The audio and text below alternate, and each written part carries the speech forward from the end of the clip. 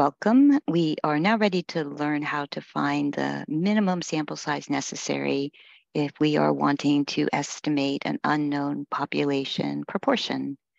So we're going to just make a note here that remember, we did learn how to find minimum sample size previously, but that was when we were estimating a population mean. So this was the formula used for finding sample size for estimating that parameter, the mean.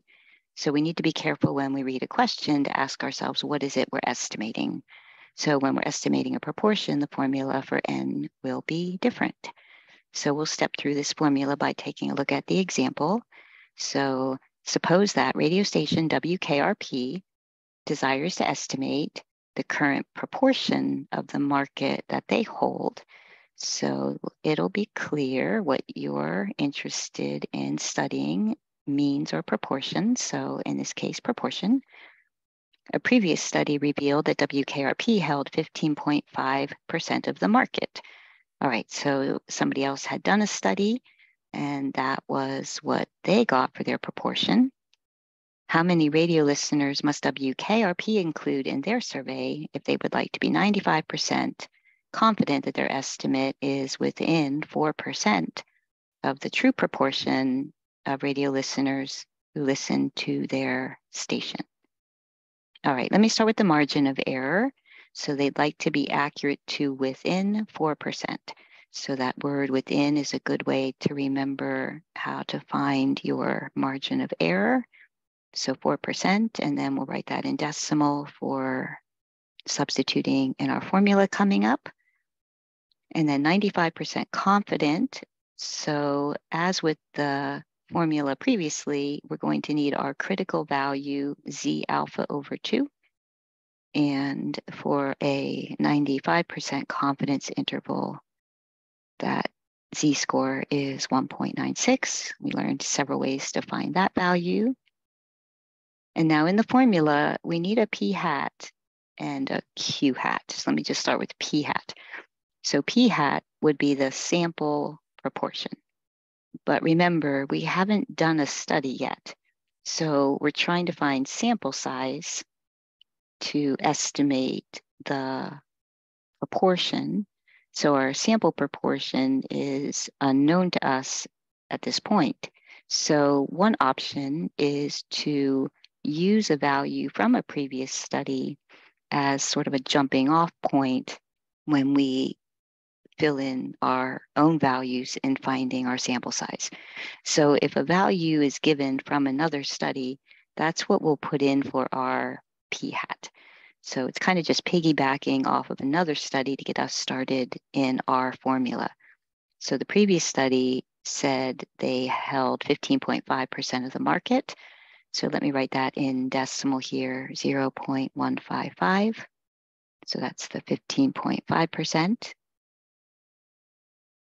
So Q hat will be the complement of P hat. So in other words, the sample proportion who do not listen to WKRP. So similarly to P and Q from previously in another chapter, now we just have a P hat and a Q hat. So our Q hat is 1 minus our P hat. So 1 minus 0.155, and that will be 0.845. So from the previous study, 15.5% listen to WKRP, which means that the other 84.5% do not. So we'll use those values for our P hat and Q hat. So here is our formula. So when we're estimating a proportion, N is P hat times Q hat, and then in parentheses, our Z score, our critical value, that gets divided by our margin of error, and that part gets squared. So note here that there is no sigma. So here was the formula previously. There was a sigma there, but we're dealing with estimating proportions, so it's a different formula. And then we're ready to substitute. So I'm going to write this horizontally like I type it on my calculator. So 0.155 times 0.845 And I'll open a parenthesis, 1.96, divide by margin of error, close parenthesis and square. All right, let's see what we get. Oops. So just be careful with your entry. I already saw I almost made a typo there.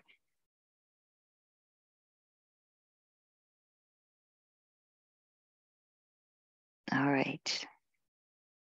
And generally you will not get a whole number. So I'm going to write down this whole answer that I'm seeing on my calculator, 314.470975. So as with our previous formula, if we get a value for n that's not a whole number, so remember, this would be the minimum value. So we don't do normal rounding here. When we're looking for n, the rule is you always have to go higher. You always go up. And we need a whole number. And so we would go up to 315. Okay, so I can now tell you WKRP is going to need to sample at least 315 radio listeners if they would like to estimate the true proportion rather than mean now, we're doing proportions. And true over there, true is another way of saying population. So we could also we could actually say both if we wanted to, the true population proportion of the market that they hold. So they need at least 315 radio listeners, more would be great. This is bare minimum, but that's how many they're going to need if they would like to be 95% confident when they're done. And they want their estimate to be accurate to within 4% of that true proportion. All right, so the question then is what happens if we don't have a prior study, a previous study available to us? So in our formula, we do need a p hat and a q hat. So if we don't have anybody else's, excuse me, if we don't have another study here to sort of get us started in our calculation, then what we do is we use for our p hat and q hat basically a 50-50 split. So since we have no idea what proportion listen to the station, then we basically assume that 50% do and 50% don't. So up here, if no proportion is available, we're going to let our p hat and our q hat be 0.5, 0.5. So 50%, 50%. It says it's the most conservative choice because by using those values for p hat and q hat, it's going to give us the largest possible n. So when we had a previous study to help us get started, we needed 315 listeners. So basically, if we don't have information about this prior study to help us get started, our answer here for N will be larger. So we're going to need more data if we don't have that previous study to help us get started. All right, so if no estimate is available, we're going to assume the p hat, q hat values that we use will be 0.5, 0.5. And then the formula remains the same. I'm writing it again. The more you get used to writing things, the easier questions become.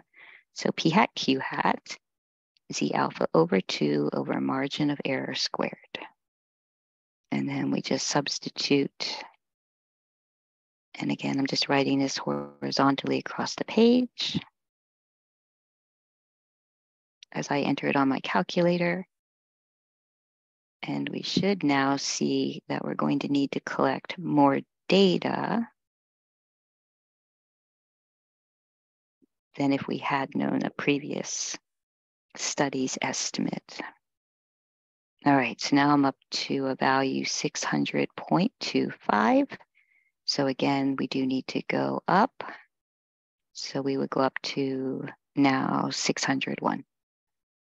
All right, so if no prior estimate for our proportion of the market held was available, now they would need to sample at least 601 radio listeners.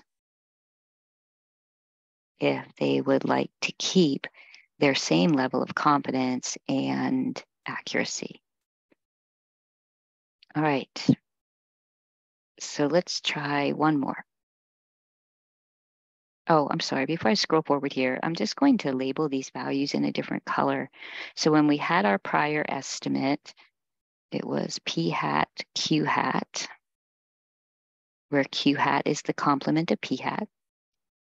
And then if no prior estimate is available for P hat and Q hat, you want to do 0.5. And always be careful with your decimal values because with percents around like the margin of error, you are going to be switching things to decimal and you want to make sure not to make any little mistakes there. All right. One more here. All right, suppose that a mobile phone company wants to determine the current percentage of customers aged 60 plus who use text messaging on their cell phones. A prior study indicated that the proportion was 45%. How many customers aged 60 plus must the company survey in order to be 90% confident that their sample estimate of the proportion will be within 3.5 percentage points of the true population proportion? All right, so our given values here. So we do have a prior study. So we're going to use their value as our estimate for p hat. So 45%, so 0.45 in decimal. So let's go ahead and write our q hat, complement of p hat. So 1 minus our p hat. That will be 0.55. All right, so the estimate here is 45% do use texts on their phones. The other, that would be 55% don't. And then 90% confident. So the critical value E alpha over 2. So when we find n, we're always going to be doing two decimal places for our critical values. So the three decimal places here, 1.645, um, will lead us to a different value for n. So when we're looking for n, we're going to, we're going to stick with two decimal places in our calculations. So 1.65, and then our margin of error, there's the word within again. So within 3.5 percentage points, so within 3.5%, which in decimal there is 0.035. All right, so one more time, formula for sample size when you're trying to estimate a proportion. So P hat, Q hat, Z alpha over two over margin of error squared.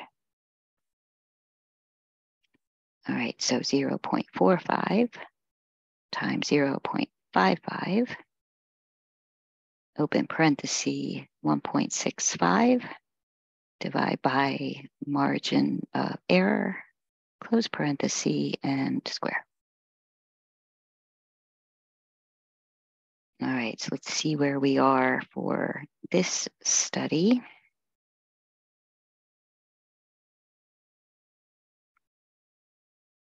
And I'm going to just again write down everything I'm seeing on my screen over there. You can skip writing this part if you would like. Again, just getting it in the notes. So I know that I go up to the next whole number would be 551. All right, so now I know that I'm going to need to sample, we need to sample at least 551 customers. So this company wants to estimate the percentage of customers who use text messaging on their phone, and in particular, customers that are aged 60 plus. So they're going to have to survey or sample 551 customers aged, put the word aged there, aged, age 60 plus, if they want to estimate the true. Now, when I read the question here, it didn't say proportion, it said percentage but proportions can be written as percentages. So a percentage is an example of a proportion. So you can say proportion or percentage, either one is totally fine. So since the question said percentage, I'll say percentage. So if they'd like to estimate the true percentage or true proportion of all customers, so again, we're trying to take a sample to estimate what's true for all their customers. And 60 plus who use text messaging, if they would like to be 90% confident and accurate to within 3.5%.